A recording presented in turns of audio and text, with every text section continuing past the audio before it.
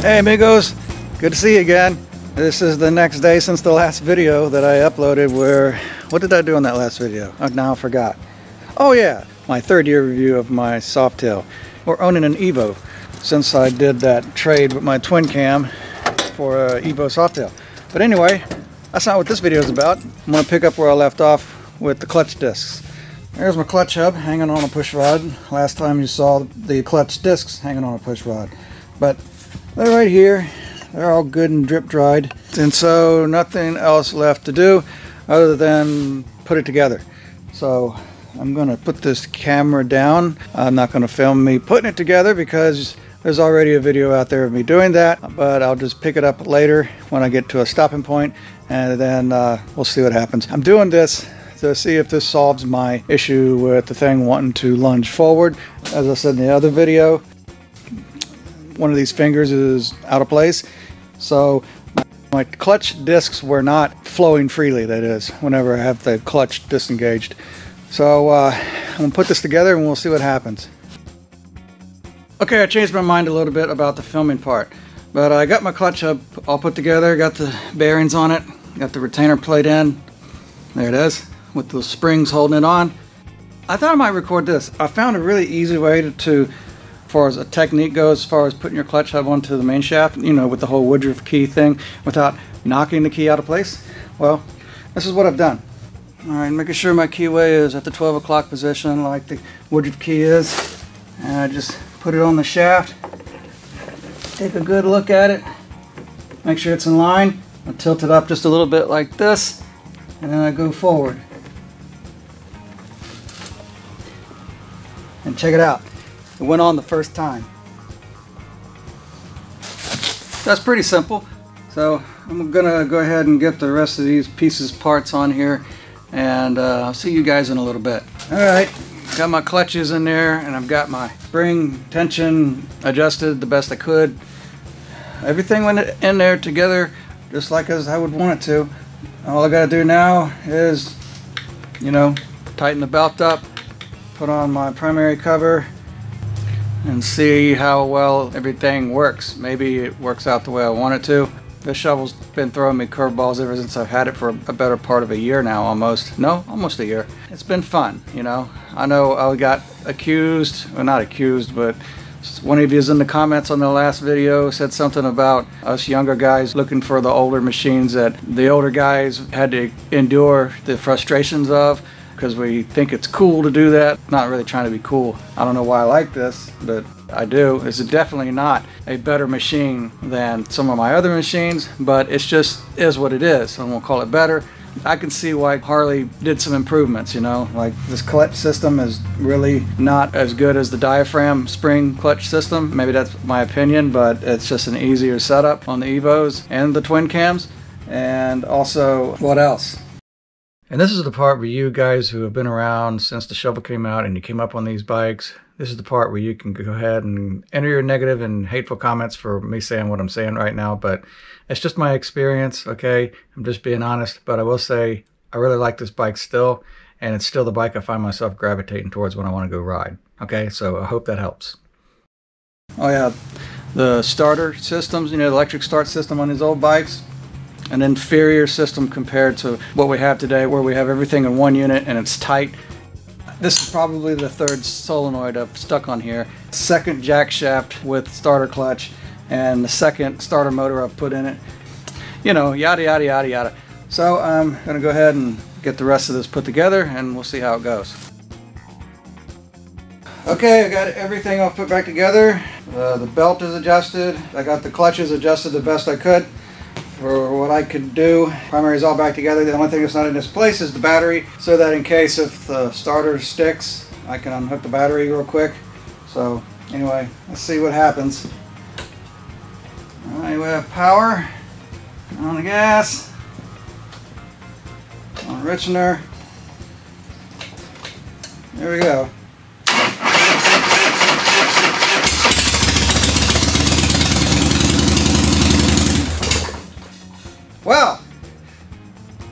It looks like it works. Now to get it back onto the ground and, you know, see how the clutch works. Okay, forgot my gloves.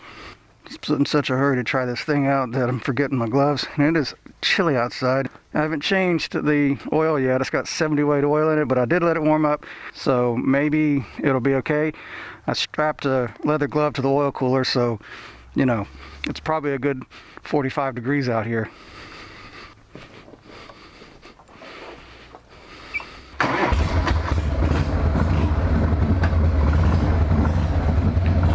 Go.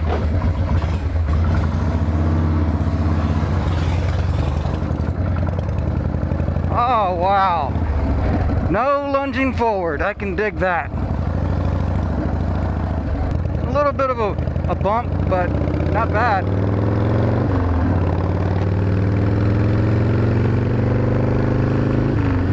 Oh, man. It feels so good to be on this thing again.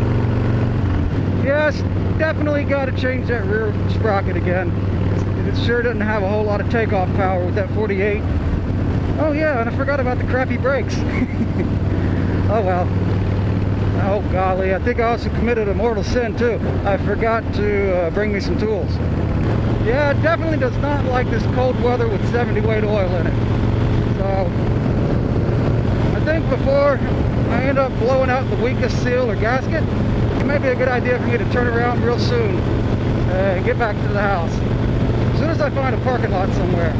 Oh cool, I can test out the clutch up here at this church parking lot. Okay, I'll turn around up here.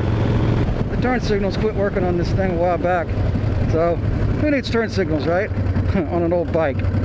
This bike's had enough character already to where it, kind of doesn't really even matter. See if we can hear them clutches. Oh yeah. Alright, here we go. Oh yeah, so much better.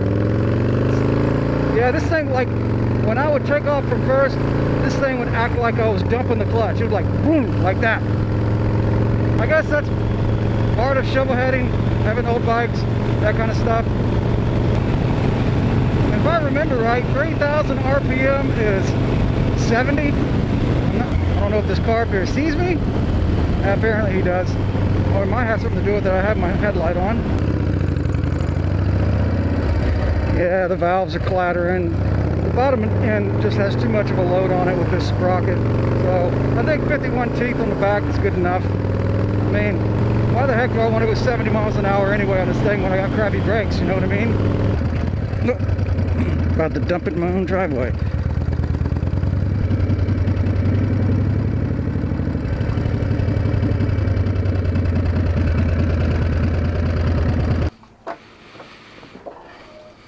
Okay we have an oily mess. Oh shoot, look at that. Puked out oil. That's first startup. They do that if you let them sit long enough.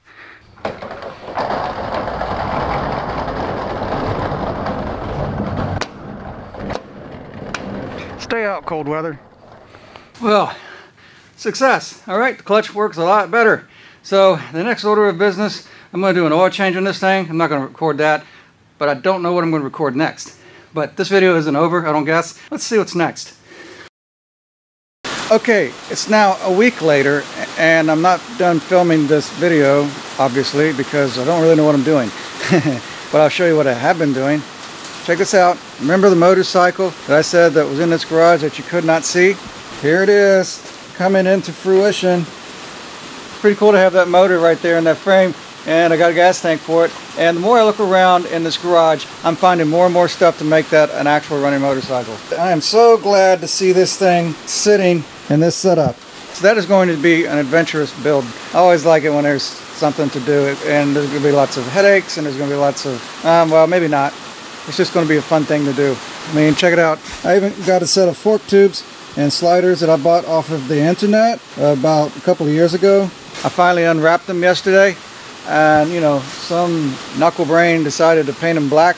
So I've been taking a little bit of steel wool and just knocking the black paint off of them and they could probably stand to have new seals and bushings put in them so that's one thing that's going to go in there. Oh and by the way you guys are not going to believe um, I got to tell you something but I'll tell you that something um, after this battery charges back up. And boom check it out with a little bit of steel wool and some elbow grease, It was a little time consuming, but the paint came off relatively easy. Apparently was not the best paint to use on something like that. In fact, you don't even want to paint your forks, you know, that slide up and down into those sliders because that's not good for your seals if you ever think of doing that. So uh, anyway, what was that thing I was going to talk about? Oh yeah, I know. Okay, may I say that this motorcycle right here has, in a year's time, made quite the fool out of me.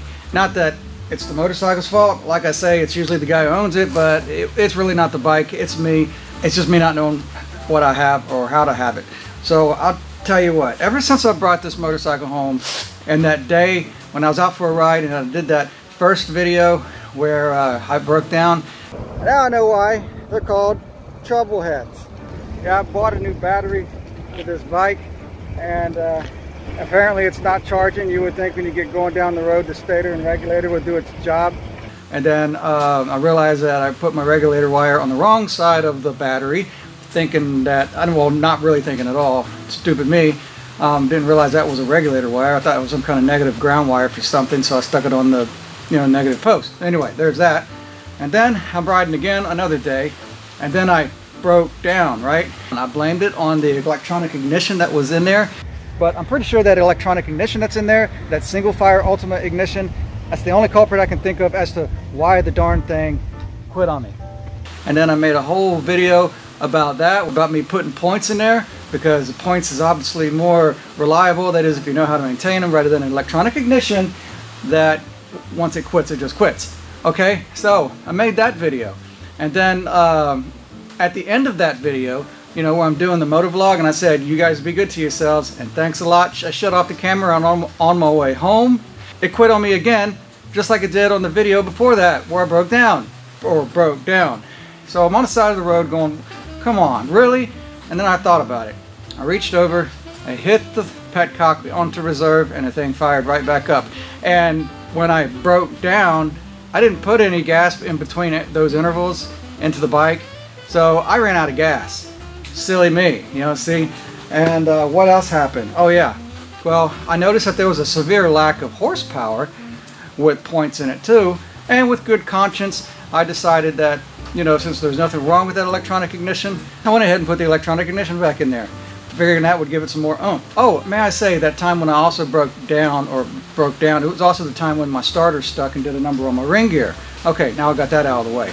Now anyway, I'm riding around with my electronic ignition and got a new starter clutch gear on there.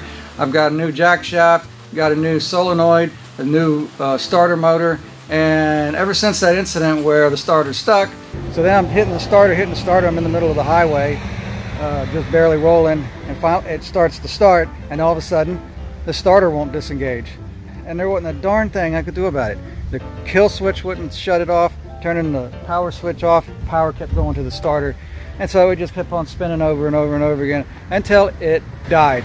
It would just engage the, the starter gear, I mean the clutch gear, and then it would disengage and grind. And I was like, oh, well, there must be really something wrong with that ring gear because it was really messed up. Which you guys saw in a previous video that that ring gear was pretty messed up. Okay, so there's that, but I just figured the heck with it, I'll just endure it for a while and maybe fix it later, which is the video you're seeing now. So while I was riding around with the electronic ignition. I kept saying that, I, man, ever since I put that 48 tooth sprocket on the rear wheel going from the 51, it just seems underpowered compared to when it had the 51. You know, just taking off because I could hear the valves clattering and it was really bad when the missus and I would get on there. Well, as in the video you're watching now, I noticed that after I got done doing the little motor vlog that you saw earlier in this video, I got home and I went to hit the button, the starter button again for whatever reason, and it did the same thing the starter clutch gear, came out and engaged the ring gear, and then jumped out and started grinding. I was like, what in the world is going on here? But when it did it, I mean, I immediately let off the button and I happened to get a glimpse and notice there was a little bit of smoke lingering around the air breather. And that made me realize this thing is out of time. The engine was literally kicking back at the starter, just like in that one video when I put the points in where it was kept kicking back at me when I was trying to kickstart this thing.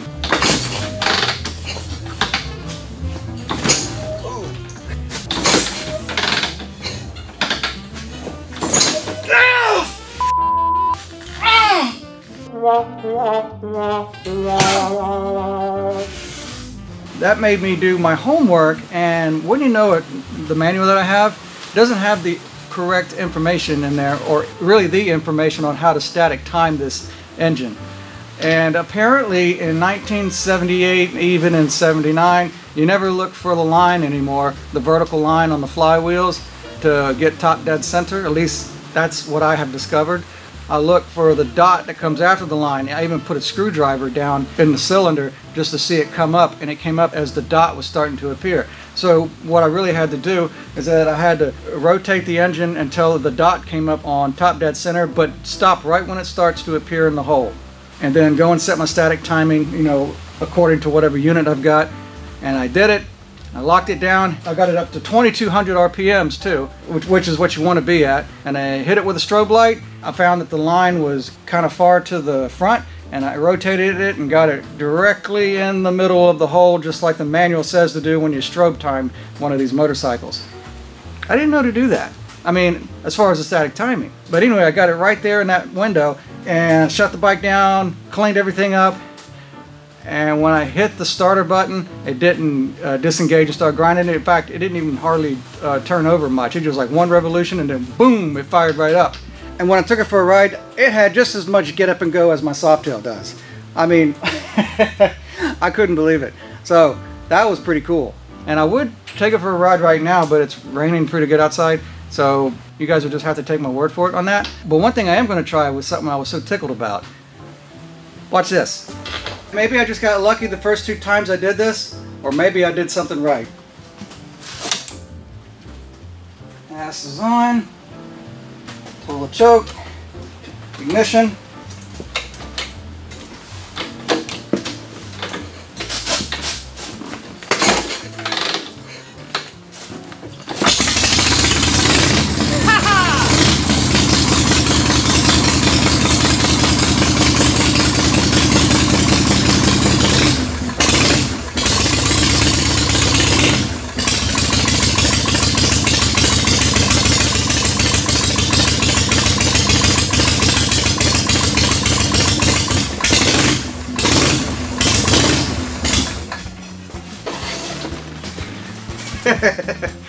And that was my problem the whole time when I was trying to kickstart this thing in that video when I put the points in there.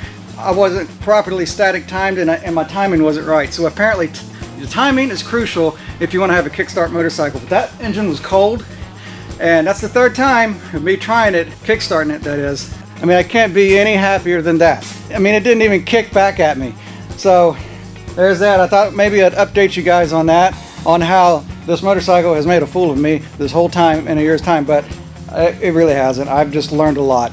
And I mean, I was really ready to give up on this thing, but I wouldn't give up. I mean, I was thinking like maybe I'll just melt this thing down and make a different shovel head out of it or something, that one that works right. That's that motorcycle over there. And like I said, I'm really interested in getting into this thing right here. So until then, guys, you know the drill. You guys keep the rubber side down and you be good to yourselves. Thanks a lot.